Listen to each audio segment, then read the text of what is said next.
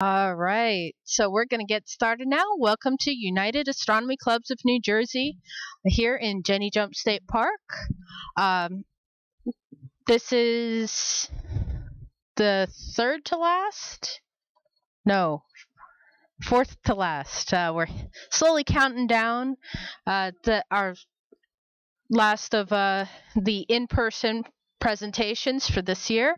Uh, we are open on site in Jenny Jump State Forest in Hope, New Jersey, uh, from April through October every Saturday. And we give this presentation at 8 p.m. And then, as long as the weather is cooperating, which it has not done uh, tonight nor the past uh, couple nights, uh, we normally would have uh, observing through our telescopes and whatnot out on the field. Uh, so I want to welcome everyone. Uh, like I said, we do have an in person audience and we also have an online audience. That's right, all of these programs are streamed online to our YouTube channel. Uh, you can either check them out live if you ever can't make it uh, because something else ha- has caught your attention and the drive's just a little bit too much, or if uh, if you want, you can always check out our past presentations through there as well. So, a couple things that I'm going to go over for you guys who are here in person. Um, please, uh, if you are using lights to walk around and it's uh, kind of dark without the moon tonight, uh, do keep them kind of pointed towards the ground uh, we like our eyeballs. I'm sure you appreciate the same sentiment. So we are going to keep our uh, lights pointed down when we can so that we don't blind people. That being said, when we go to leave, we are still using our headlights because we also like, as much as we like our eyeballs, we also like not getting physically run over by a car. Very important. Uh, as much as it it is getting into Halloween and spooky season. We want to avoid have adding to the uh, spooky, scary skeletons dancing around. Uh, if you guys here need to use the bathroom, we have the porta potty to my right, your left, and we also have a sales desk uh, with a couple interesting uh, items uh, and a couple helpful ones like the planispheres and whatnot. So, uh, while you're here, uh, like I said, we are hosting this online.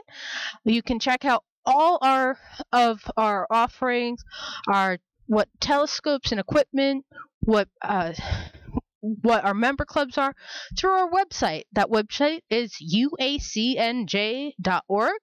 Uh, like I said, you'll see all of those list of the presentations we have going.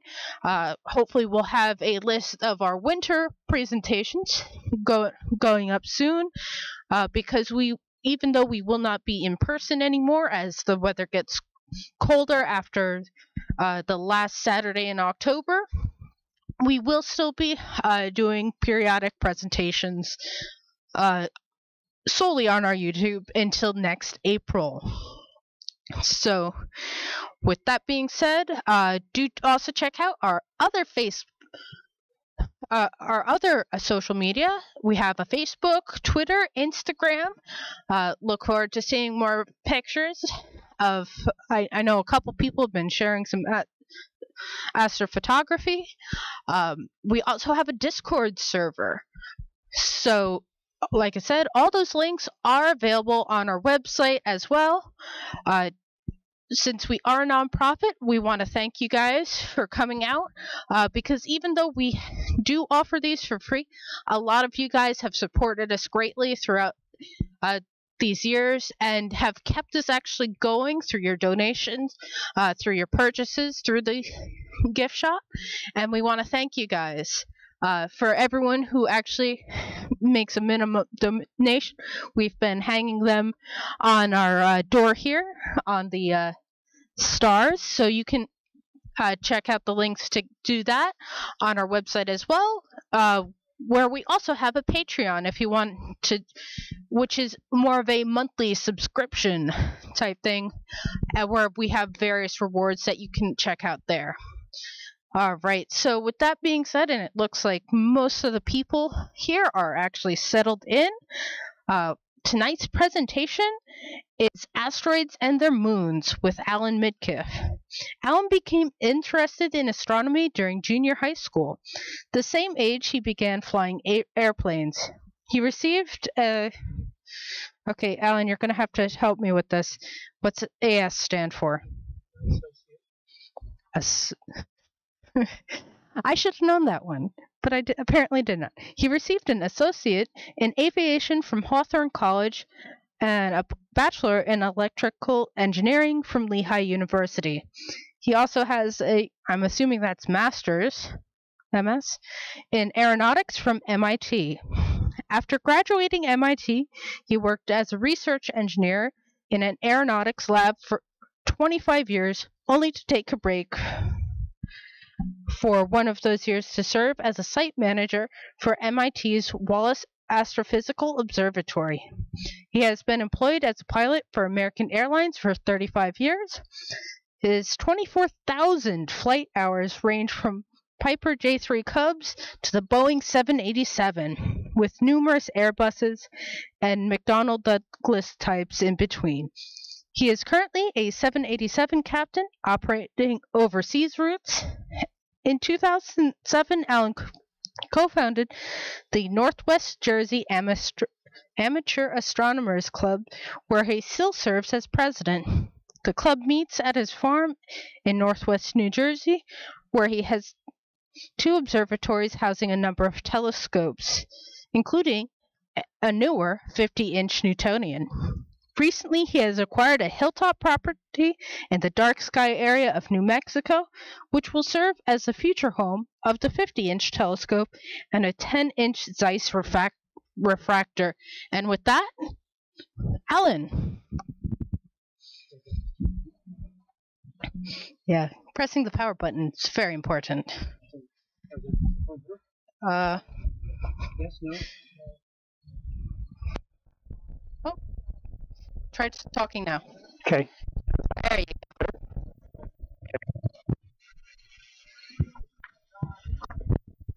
All right. Well, thank you for coming out. We're going to talk about asteroids and their moons. So just a little overview for the talk. We'll start out talking about the asteroid characteristics and some of the research motivations why we study different binary asteroids. And then I'll talk a little bit about our data collection and analysis we did support of some uh, researchers uh, at MIT. shield your mic a little bit because uh, wind. So some asteroid basics. Uh, asteroids are defined as small bodies of the inner solar system that are not planets or comets. They're remnants uh, not large enough to become major planets, but a subcategory of minor planets. Uh, they, they usually include the inner orbit of the solar system out to Jupiter. The first discovered was Ceres in 1801, then Pallas and Vesta, and then so on and so forth. Uh, initially, they were called planets until about 1851. Then Ceres was recategorized as a dwarf planet. Currently, there are over 8, 800,000 known, but that number goes up every day with a lot of asteroid survey programs, asteroid and comet survey programs. The Minor Planet Center in Cambridge is the clearinghouse for asteroid discoveries, and they use the observations to determine orbital elements. And this is just a scale drawing a size picture here with our moon, and that's Ceres, that's the largest asteroid, and then Vesta show gives you an idea of the scale the size of these objects. So Vesta was the smaller one in the last picture, and this shows you uh, as the asteroids get smaller, they tend to lose their spherical shape. Uh, and they, they can be uh, really almost any shape, um, and that'll come into some importance later on in the talk. So where are these things? The asteroids, the main asteroid belt is between Mars and Jupiter, and here you can see where Ceres and uh, Juno and Pallas are. Um, primary location of near-Earth asteroids are the inner solar system inside Mars orbit, and there's a greater than 26,000 of these known. The Atiras are actually inside Earth's orbit. Uh, the Atens and the Apollos are uh, respectively inside moving out and outside moving in across Earth orbit, and of course they're a very high interest because of the threat that they they pose uh, to the Earth collision-wise. And the Amors are outside Earth orbit. Uh, the main belt asteroids are between Mars and Jupiter, and there's greater than half a million of those known, and those are here. Okay, centaurs are between Jupiter and Neptune, and the Trojans uh, share Jupiter's orbit. You can see them here uh, about 60 degrees behind and in front. It turns out a lot of planets have Trojan-type asteroids at these Lagrange points. There's just uh, more of them at Jupiter than any of the others. Uh, as you move further out, trans-Neptunian objects, or TNOs, they're past Neptune out to the Oort cloud. The Oort cloud is about uh, a light year uh, out from the sun, and it's a source of a lot of comets especially the non-periodic comets. Uh, the Oort cloud also includes uh, the Kuiper belt, uh, and uh, the most well-known Kuiper belt object is Pluto. About 80% of the minor planets are main belt asteroids or KBOs, and more recently there have been interstellar objects that have visited our solar system, and they're on what's uh, called hyperbolic orbits, and they just kind of swoop in, and then their speed is so high they swoop back out again and that was in uh, those two were 2017, 2019. Now that they know to look for them, they expect to be uh, to be more discoveries. So some characteristics of asteroids, uh, size-wise, Ceres is the largest at 590 miles, and it could be uh, any size smaller than that. Uh, most are smaller than uh, half a mile, at least the NEAs and the MBAs. the minor planets, the TNOs and the KBOs, are much larger. Uh, the total mass of the main belt is about 4% of the Earth's moon, and Ceres makes up a third of that uh, 4%. So in terms of structure and strength, uh, they can range from loose rubble piles that are gravitationally bound to scattered rock, solid rock, and then uh, solid rock with chunks of metal.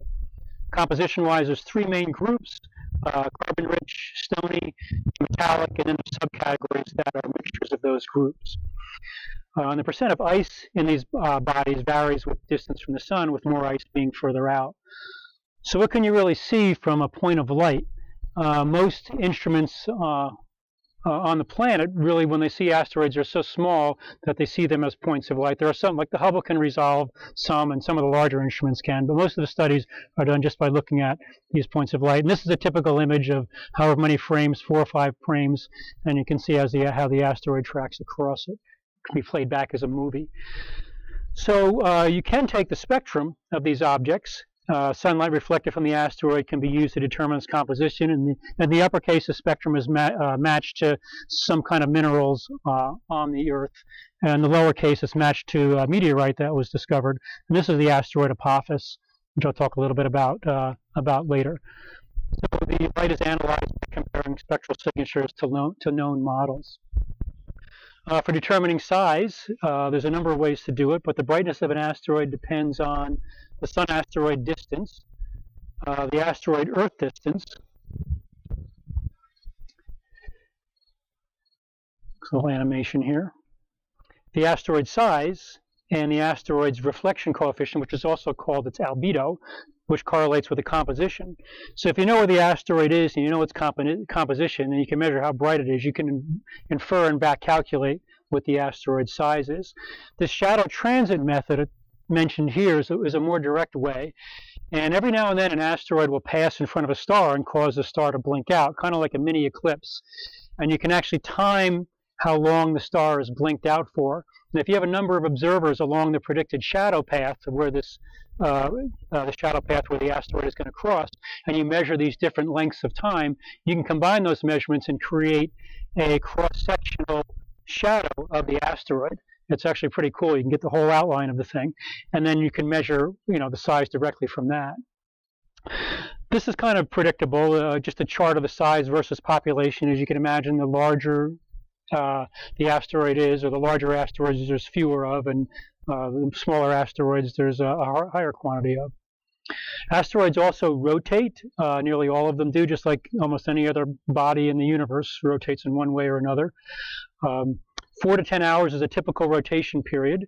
Uh, the rotation is due to numerous effects, including uh, the conservation of momentum for when the asteroid was formed. Uh, could be due to a collision. Uh, this Yorp effect I'll talk about a little more. That's actually pretty interesting. It's the torque due to uneven heating and re-radiation from sun against different facets of a non-symmetrical asteroid. So I'm going to mention a couple times in this talk that most asteroids are shaped like potatoes or called potatoids. So when the sun hits them, it generally uh, will hit uh, or will reflect off of one side more than another, and because the uh, asteroids are not completely symmetric and causes a spin. So it's like a radiometer, which you've probably seen in science classes, uh, which when the sun hits them will spin up. So the rotation, uh, so the, this Yorp effect was named for these four gentlemen here, whose names I'm not going to try to pronounce. Uh, the rotation period is due to the Yorp effect. It's inversely proportional to the square of the mean distance from the sun. So obviously, the closer to the sun you are, the more the solar effect takes place. Uh, the KBOs, KBOs are pretty much too far out uh, for the Yorp effect to be a factor. So I'll talk a little bit about uh, specifically about binary asteroids or asteroids that have moons. So Ida and Dactyl were the first discovered, which was uh, completed by the Galileo spacecraft in 1993. Ida is 35 miles long, and Dactyl, its little moon, we can see right here, is just about three quarters of a mile. So in the past 19 years, uh, approximately 200 more uh, binary asteroids have been discovered, uh, which includes 15% of the near-Earth asteroids, uh, and 15 to 20% of the main belt, 10 to 15% of the KBOs. Uh, and the revolution period of these, the, the, time it takes for the small or one body to go around another is on average 10 to 20 hours. So how are these things discovered? Like like uh, Ida and Dactyl were discovered by space probes, but most of them are discovered through direct observing through uh, telescopes and ground radar. And this is just some examples. You can see here uh, an image, and this is a time exposure, so you can see the moon actually orbiting the main body. This is a Keck image, just uh, this is very pixelated, um, but it's image of Patroclus. And this is actually an Arecibo, Arecibo radar image, uh, while Arecibo was obviously still in operation. So that's that's kind of cool. You can see the main body and the uh, the satellite. So how do these binary asteroids form? Um, so they could form by collision. Two asteroids collide. There's debris flung off. Some of it just floats off into space. Other is captured by the main body into an orbit.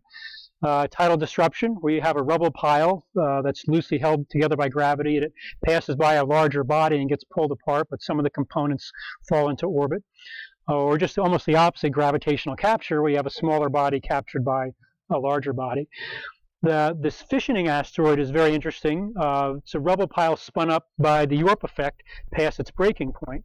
So uh, as the Yorp effect imposes itself on an asteroid, it could eventually spin up where the centrifugal force will overcome gravity and a piece could break off and some will break off and just fly off into space, but others could actually uh, fall into orbit around, uh, around the rubble pile asteroid.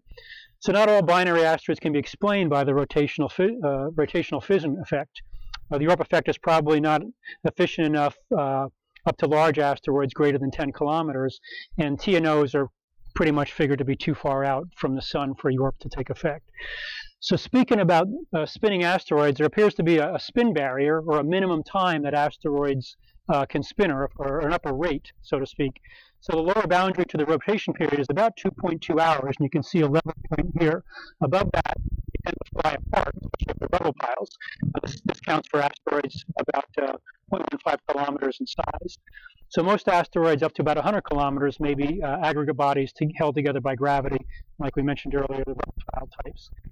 And this is just a little cartoon of how a rubble pile could be disrupted gravitationally and pulled apart.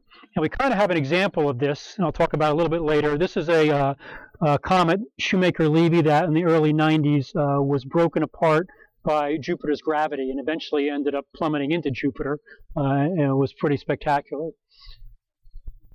So where are these things? You know, uh, they're really they're they're all over. In this image here, uh, once again, I think it's a stack of three. Um, you can see a few of them. There's a, apparently there's five on here. I don't know where the others are, but there's a uh, there's one right here going by this bright star, and I think there's one in here going by these two, and uh, there's one up here somewhere. I can't see where it is, but uh, there's two more somewhere that people in other past talks have been able to able to find. So I'll talk a little about light curves because that's one of, one of the main ways that they study the uh, the, the structure and details of uh, asteroids. So, so, we talked earlier about how asteroids have these potatoid shapes, and as they rotate, they present different facets to the Sun-Earth uh, angle. And the brightness, uh, or the brightness or photometry of the asteroid can be measured as a function of time. And if you plot that brightness versus time, you come up with uh, phases. And this just shows about eight nights worth of data uh, that's uh, phased on top of each other. So a lot of people don't know that light curves um, that uh, asteroids also go through light curve phases, much like the moon. This this research gets to be really interesting. So, you know, depending on the sun asteroid angle, what you see on the asteroid in terms of shadow effects will change. So you can see as the asteroid is at opposition, it's like the equivalent of a full moon. You'll see the asteroid fully illuminated, minus some shadows here. But as the angle decreases here, uh, it, it tends to blink out. So the photometry during these phase changes provides information on optical and physical characteristics of the regolith on an asteroid surface, uh, the albedo and the roughness and porosity. The slope of the brightness decreases with the phase angle, and increase may also provide information on characteristics. So I'll talk a little bit more about these uh, light curve phases and how they're used in shape modeling uh, a little bit later in the talk. So why do we really want to uh, study these things? What's our motivation? Um, so on a basic level, we want to increase our knowledge uh, of the origin of the solar system, um, how planets were built. Were they built from uh, the top down, which would just be, you know, a cloud forming together to create a body, or were they built from the bottom up, small particles uh, forming together gravitationally to create a larger body? Uh, and it would be useful to know what these uh, objects are made of in terms of possible future mining and there might be some valuable um, minerals on them. Uh, to determine the structure and the density of these asteroids, you can use the rotation period and Newton's laws to calculate the mass and density. And the rubble piles tend to be about one gram per cubic centimeter, which is like water. Uh, and high density uh, rock-like can be up to four grams per centimeter. I think the Earth is like 3.5 or somewhere in there. Um, in addition to determining asteroid characteristics and density could be important in a situation where an asteroid would collide with the Earth. We talked about those Earth-crossing asteroids or those near-Earth asteroids, which the count is up to 26,000 now. And it would also help in determining possible countermeasures, whether it could be a gravity tractor pull or, or setting off a nuke somewhere nearby the thing to try to push it.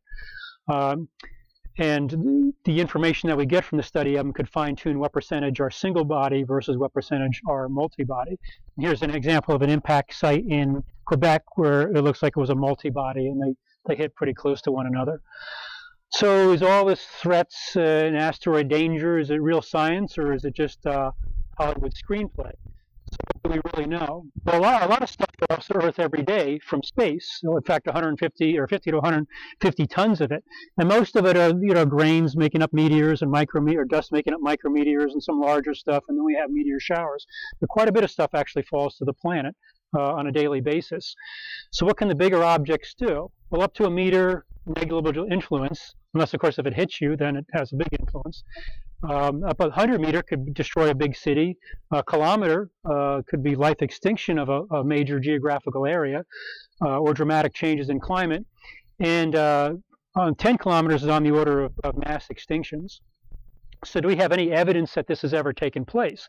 Evidences for asteroid impacts or mass extinction or did the extinctions result from uh, asteroid impacts? And can these uh, occur in the present? Well, there are some bodies in the solar system that um, they don't have atmospheres and they don't have a lot of uh, tectonic activity, so their surfaces are preserved for eons. So they've kind of um, are record keepers of the kind of uh, collisions that have taken place over a long period of time. The moon. Callisto is one of the moons of Jupiter, and you can see that they're covered with craters. Uh, the Earth is a little bit different because we have weather and uh, plate tectonics, and there's a lot of things changing, but there's still a number of examples. Uh, here's one in Canada. What is it? Uh, 35 million years ago.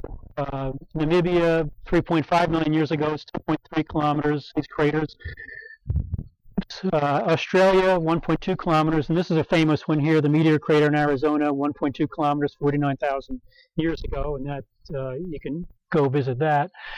Um, and this one here is uh, in Bolivia, and that's uh, only 20,000 years. So there is some evidence that uh, there has been in recent years some impacts on our planet. Uh, mass extinctions, yes, there's evidence for life that was on the Earth and that is no longer there through the fossil record, including the dinosaurs, and that's a biggie. Uh, back in 1980, a father and son team came up with a theory. They identified this iridium layer um, at about the 65 million year uh, sedimentary uh, point. And it turns out iridium is very common in asteroids. And they also discovered, uh, found some shock quartz that had undergone thermal stress in the same area. And the theory is that uh, an asteroid about 69 miles, 65 million years ago, might have caused mass extinction. And uh, I guess the smoking gun, so to speak, is uh, later on they discovered this Chicxulub impact crater in the Yucatan that time-wise seemed to work out with it. So more recently, we talked about Shoemaker-Levy, and uh, in July 1994, that uh, broke up and impacted Jupiter. 21 fragments of uh, one kilometer size, and uh, you could see, you didn't see so much the impacts. I, I, don't know if this is a Hubble image or a Galileo image, um, but you could actually see the shadows, uh, the cinder shadows as they came around as Jupiter rotated, which it does about every 10 hours, 9, 10 hours or so. Uh, about 100 years ago, uh, the Tunguska event, and that was a little bit different because uh, they figured it was an airburst.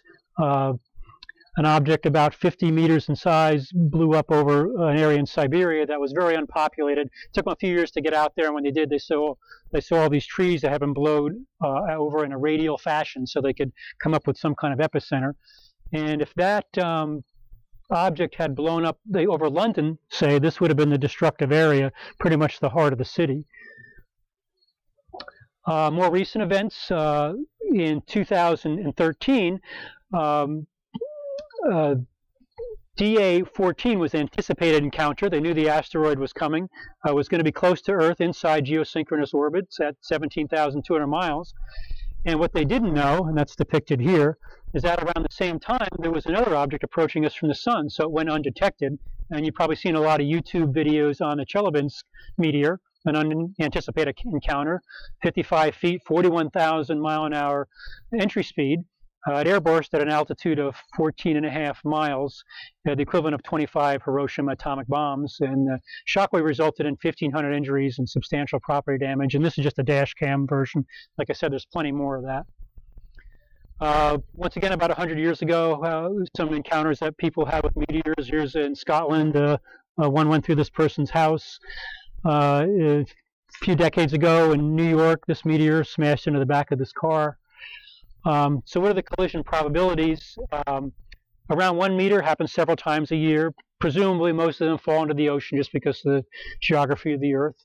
Uh, 100 meter about once every 10,000 years, 5 kilometers once every 10 million, and 10 kilometers about every 100 million years. And this graph kind of depicts that uh, impact energy versus probability. And it's a good thing the curve goes down like that, not up like that, or we probably wouldn't be around. Um, but obviously the higher energy ones occur less often, which once again is, is intuitive. Uh, a few years ago, this somebody came up with this Torino scale, and it's kind of like the equivalent of a Richter scale, which weighs the probability of an asteroid hitting versus the energy destruction, which often has to do with the size and the speed of the asteroid. So these lower objects are uh, smaller objects that have lower chance of hitting the Earth, the higher ones are the medium, middle ones are uh, medium size, or they could be high, uh, larger objects with low probability, or vice versa. And down here in the red, they're large objects with high energy with high probability. And so far, this asteroid Apophis has topped the scale at a four, and that had a collision probability of 1 in 37. But since they've redone calculations and they realize that Apophis is not a problem, at least on this next orbit. If it goes to its next orbit and it shifts again, they'll have to do the recalculation.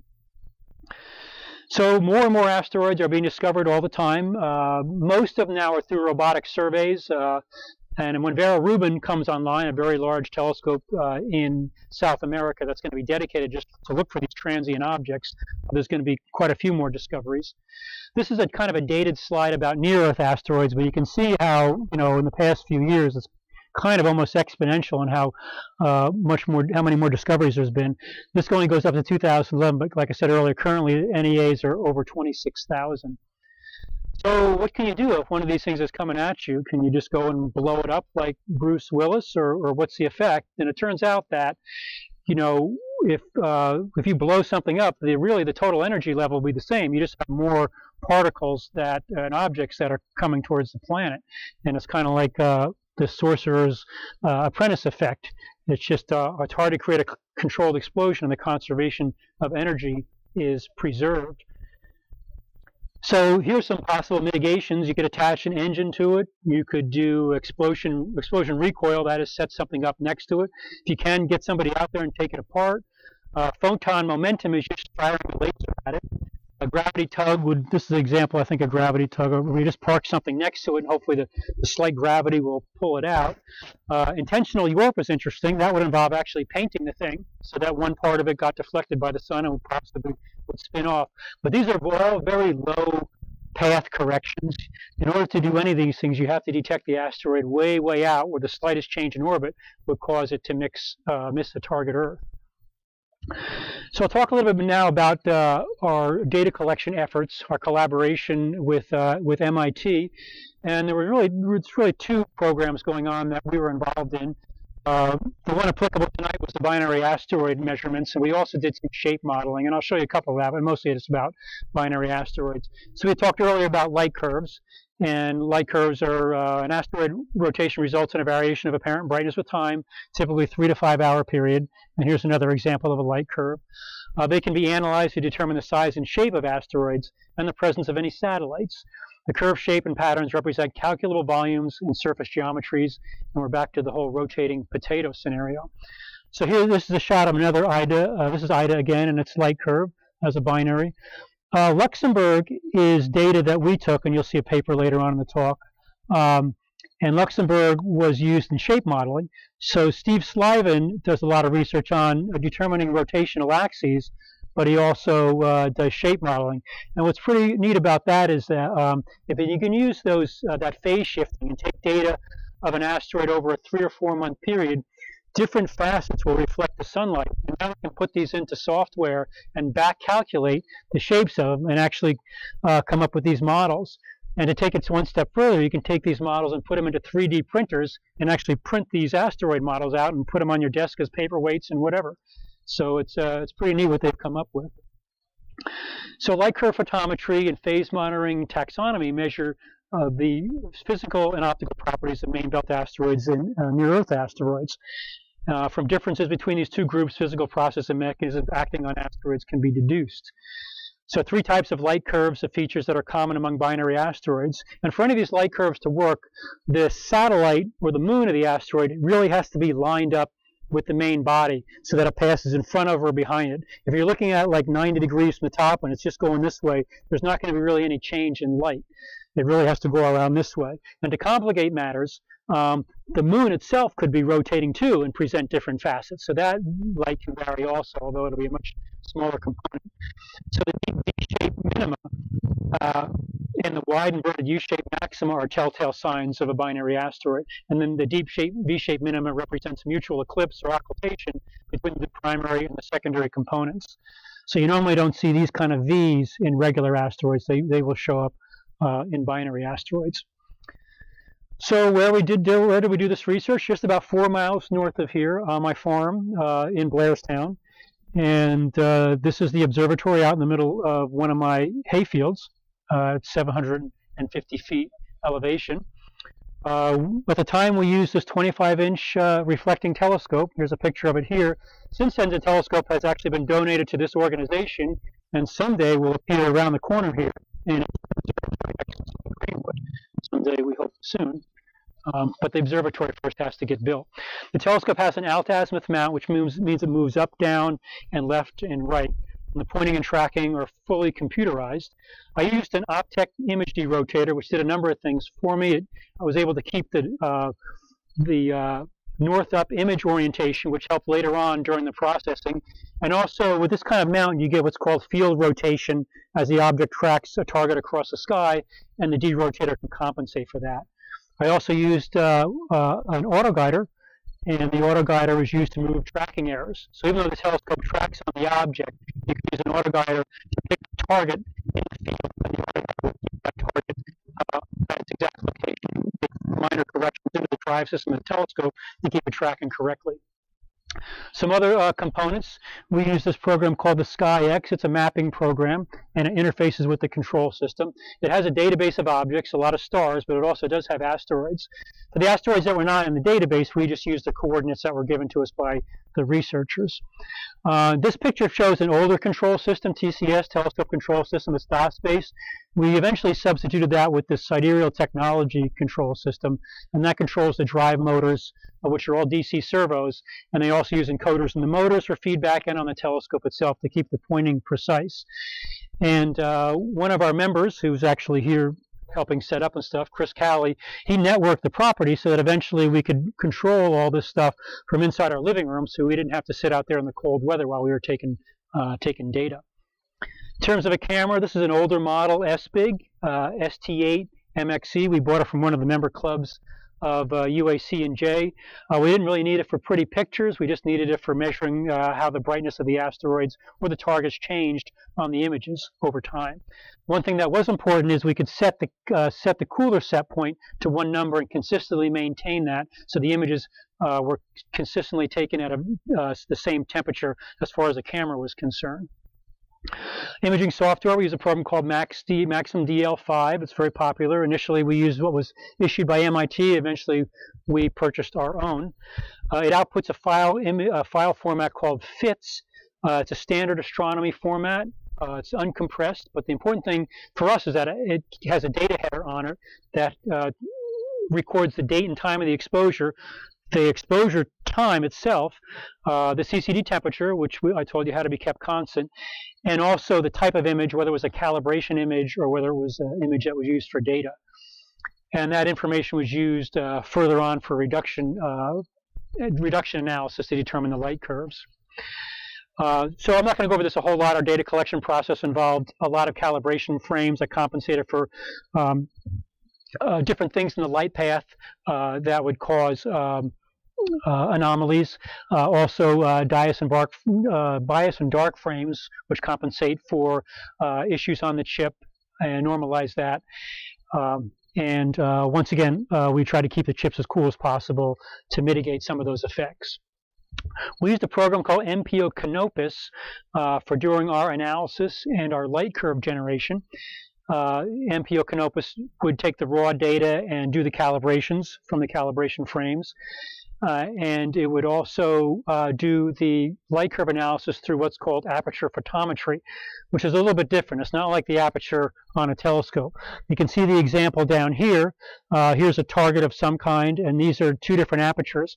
So what the program would do would measure the brightness of this and subtract the background brightness, just in case the background was different on different parts of the field, uh, of this uh, example image. So here's a typical frame off of a sequence which, which might have total 8 or 900 for a given night's worth of data. And that 8 or 900 is counted on this uh, image list here. So what you do for aperture photometry is you select your target. This was our asteroid. You select a comp star, and then, or more than one. You could do more than one comp star, and then you could select a check star. So what happens is uh, the software compares the brightness between these two stars from image to image to image. And what the check stars use is to make sure this is not a variable star. If it's a variable star, then everything goes kind of haywire. So this keeps this checks to make sure that's honest, and this is used to check the, how the brightness of this is changing.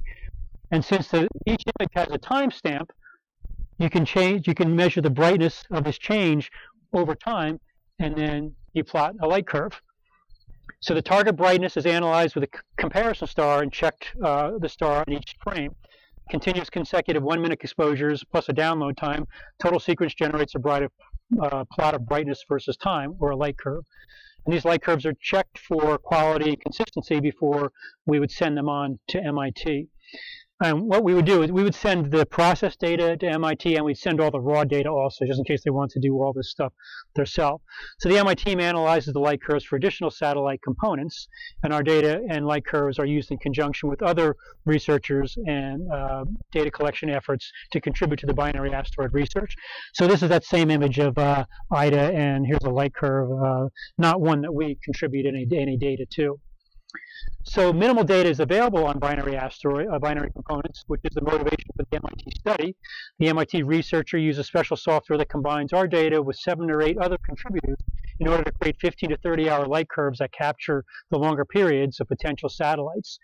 So this is an example of a light curve uh, of a 15 with a 15 hour period binary, and you can see the deep V's in place here. And I don't know that we contributed to this light curve or not. Once we sent the data off, we kind of just moved off to the next target. So this shows our first real effort. It's kind of noisy data, uh, 9620 Edward Olson, uh, 2.7 miles in diameter. It's a main belt asteroid, not real dim, 15th magnitude. Uh, we measured the period at 3.12 in the published, uh, 3.12 hours, and the published was 3.8 hours for our first try. Wasn't too bad. You can see we got better at it. This is Barbarossa, cleaned up quite a bit. Over three nights, we measured a period of 3.2 hours. You can see the data is nice and tight. There's a possible V in there. Whether the research found that that to be due to a, uh, a binary asteroid, uh, I'm not sure. We didn't get feedback on that. And finally, uh, we talked about um, um, Luxembourg. So Luxembourg was part of the shape modeling program. Uh, this was an asteroid. We took uh, five nights of data. It was very tight. They were very high quality nights. We measured a period of 3.58 hours on it. Um, this had been unpublished, so we actually published this uh, in the Minor Planet Journal in April of 2014. Um, so I'm going to, before we take questions, I'm going to leave you with uh, kind of a fun video. So when you take images of asteroids, at least our setup, the field of view of these frames is about 11 arc minutes. That number might not mean anything to you, but it's about a third of the size of the full moon. And a typical asteroid at its distance um, on a given night, five, five or six hours worth of data, will cover about half of that. So about an arc minute per hour. So you generally can put the telescope in one spot in the sky, it'll track across the sky, the asteroid will go across, and you can take your data off of using that MPO Canopus program. So we knew that there was going to be a close flyby of an asteroid. We, it was too close for us to get any real data on it, but we thought we would have some fun on it. So this QE2 flew by the Earth uh, very close on June 6, 2013. It was only 3.6 million miles. So being so close, it was going to span multiple fields of view. So what we did, just for fun, is instead of putting the guide camera on a star and letting the asteroid track across it. We actually put the guide camera on the asteroid and let the star field flow behind it. And it all looks pretty good. You can see this thing shooting through space. But uh, what we didn't anticipate is that two-thirds the way through, the guide camera's tracking on the asteroid without any problem, but the, um, the asteroid passed in front of a star. So the guide camera got confused and reacquired the star, and the asteroid goes shooting off the side of the field of view. So I'll play the loop twice, and you can uh, you can kind of see it. It's kind of funny. And it takes a while for it to spool up. So here's our asteroid. You can see the star field. So this thing is moving across space, and uh, the guide camera, the guide is doing a good job. The auto guider is doing a good job staying on it. And it's passing by a bunch of stars. But uh, and it was moving pretty pretty fast. I mean, just these these pictures. Uh, I, am not sure what I combined on them, but um, it was moving through a field of view probably in just a matter of an hour. So you can see here, it's going to hit this star, and the camera is going to get confused, and it starts tracking on the star and lets the asteroid go off the field of view. So I'll let it run one more time, and then maybe we can wrap it up. Kind of like pool ball physics there. What's that? kind of like pool ball physics. Yeah, there. yeah, it looks like it, it looks like pool ball. No, it looks like it's seized up. But uh, anyway, that's the uh, that was our QE2. So um, that's the talk. Any questions? All right. I want to thank you, Alan, for a great presentation. Uh, we are taking questions. Uh, how's this? It's going to work. Is I've been monitoring chat uh, through my handy dandy uh, electronic devices, and I'm sure you guys also have questions. I'm going to ask that when you have questions, you raise your hand so I can bring you the mic out. Uh, because chances are, if you have a question, uh, our online audience also has the, the same question or a similar question. So, to start us off, uh, I have actually uh, one question. Uh, if you ever got a chance to take a trip to the moon or Mars, would you take it? To moon or Mars? Yeah. Sure, at least the moon. They'd have to get the radiation under control for me to go to Mars. All right. Oh, and now we're gonna do limbo to get out here. uh, you said there was a, like a two-hour uh, limit of the rotation of the rubble pile asteroids. What's the the the fa- the fastest of the non-rubble pile rotation? I you know the data never came up. I was always interested in the same thing. You know, just how fa- like the solid chunky rock ones. Yeah, that never that never came up. They they apparently in that plot it just consisted of rubber pile, rubble pile. No. All right. So our next uh, question online had to do with now you you're an amateur astronomer. Correct. Uh, how much do amateur astronomers contribute to gathering data on these objects? Would it be fair to say a lot is known because of amateur astronomers versus professional astronomers? Um, I would say yes, a lot. Um, although in recent years um, there's been a lot of sky survey programs, like the Catalina Sky Survey, and these, these programs are completely automated, and they are discovering uh, like a half a dozen to a dozen of these every night. Um, so yes, there still are amateur discoveries, and you can discover one, and you can name it anything you want. Asteroids, when you discover, you can put any name, almost any name on it you want. Unlike when comets are discovered, you get your own name on an asteroid, you can put any name on it you want. But once Vera Rubin comes online, that's really going to scoop a lot of these uh, discoveries. As long as Starlink doesn't confound it too bad.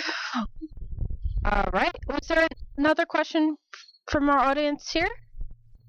Oh, we got one. a more uh, generic question for you, maybe uh, uh, your personal opinion about it. I know astronomy is more um, inclined to see the world from the materialistic point.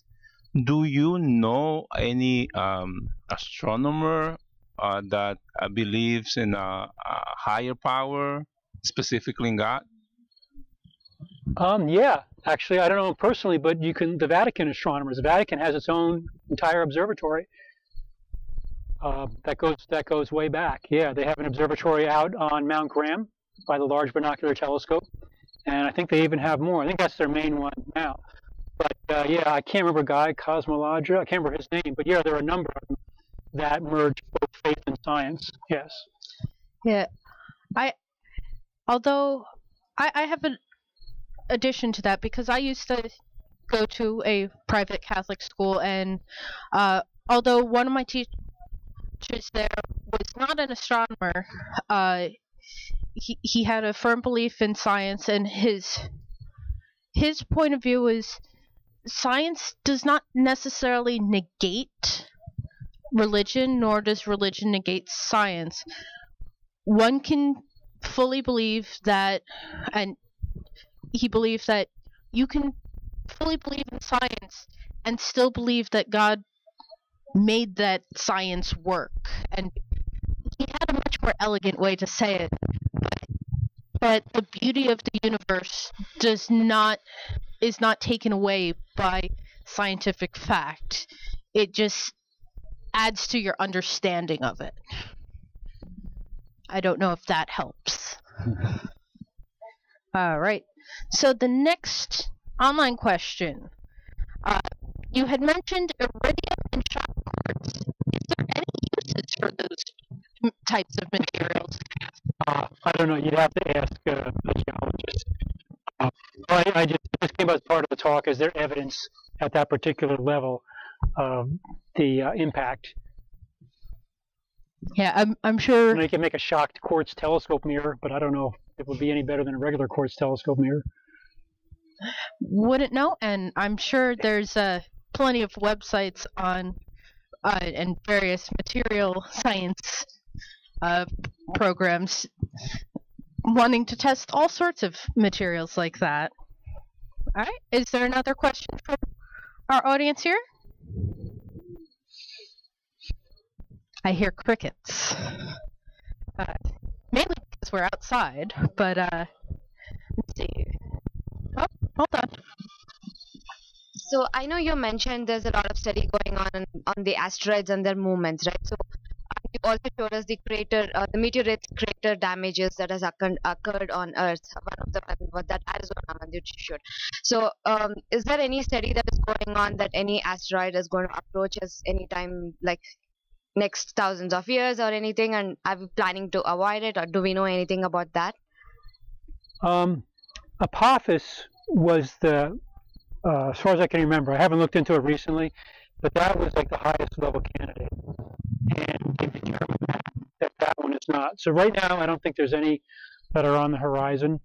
But what happens is that like Apophis was, I, I, took some of the slides out because I didn't want this to get too, get too long. But there was a whole section on there about Apophis was going to go, and if it goes through this certain keyhole in whatever 2036, it could shift enough where the threat could get higher.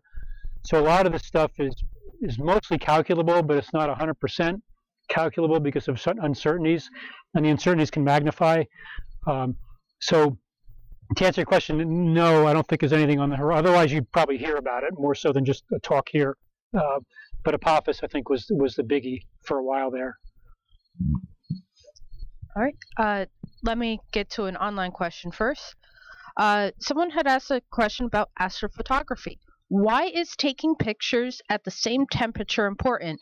Uh, they noticed you had the uh, cooling on the camera and whatnot.